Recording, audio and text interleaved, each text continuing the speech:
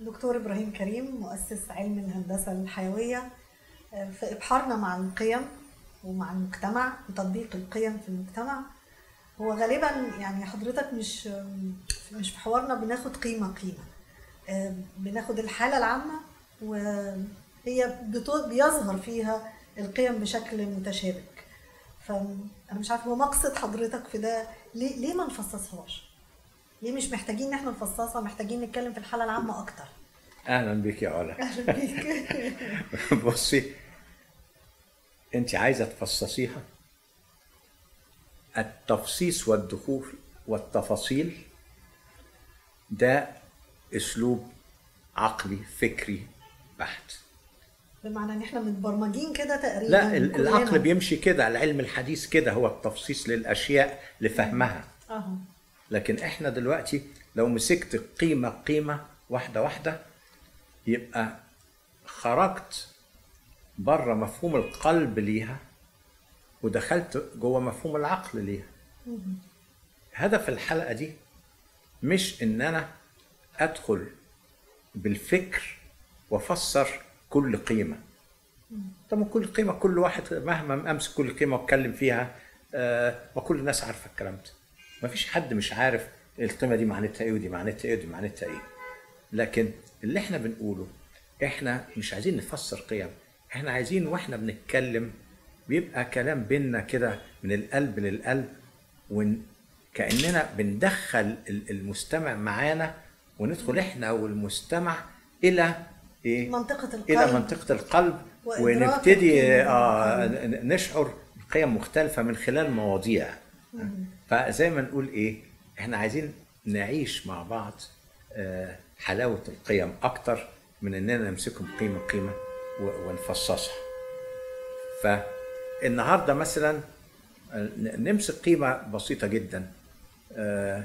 يعني في الصدق. لو بص مش عايز أفصصها بالطريقة العادية. أنا بقول الصدق بس هي عبارة عن إيه؟ عن آه هنا تفاعل. تفاعل بين العقل والقيمة الداخلية آه بيبقى قوي قوي في حتة الصدق دي. لأن في حتة الصدق الصدق قيمة الصدق يعني التوازن العام في كل شيء. يعني إن, إن ما فيش أي خلل في التوازن. هو ده الصدق لازم يبقى كده. لكن الصدق بقى بالنسبة للعقل بيدخل فيه حتة إضافية. إدراكي لعدم التوازن الداخلي يعني أنا بعمل عمل لما أقول ده غير صادق فيه يعني أنا عارف إن إيه إن في توازن. عدم توازن في في. الحاجة الفلانية آه.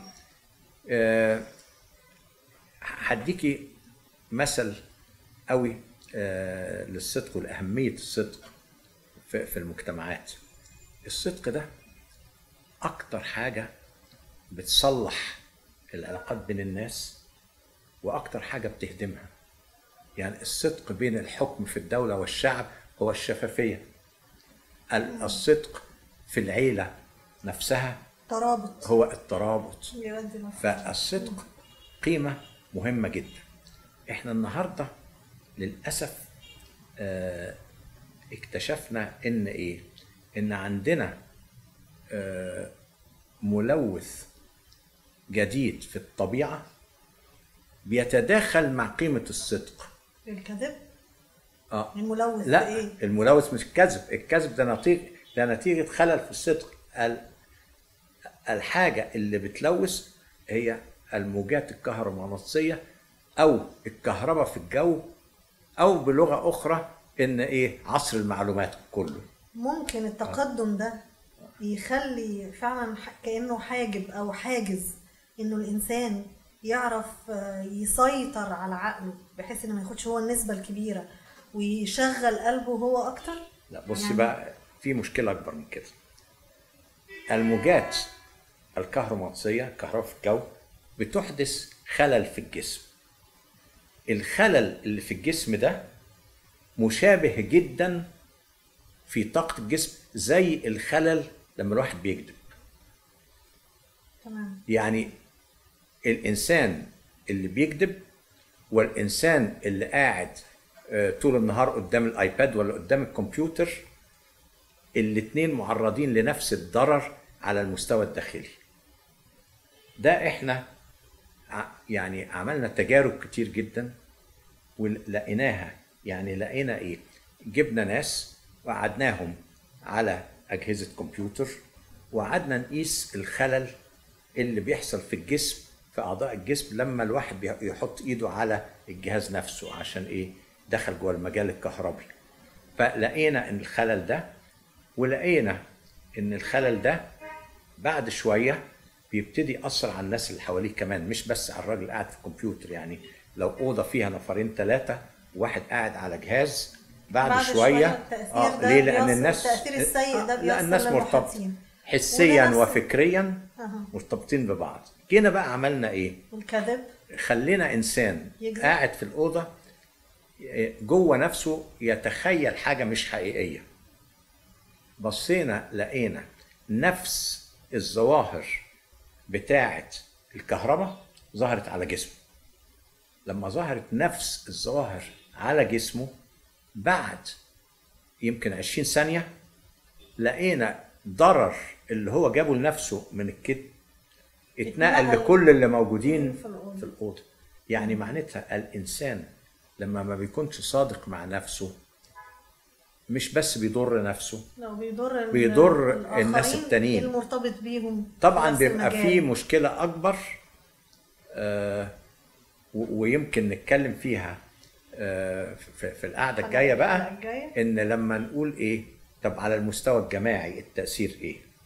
فعلى المستوى الفردي لازم أعرف إن أنا الملوث ال- الكهربائي والملوث اللي هو بتاع الكذب الاثنين القيمة آه ما تقدريش تفرقيهم. ما تقدريش تفرقيهم عن بعض. ولذلك ده يزود ده وده يزود ده.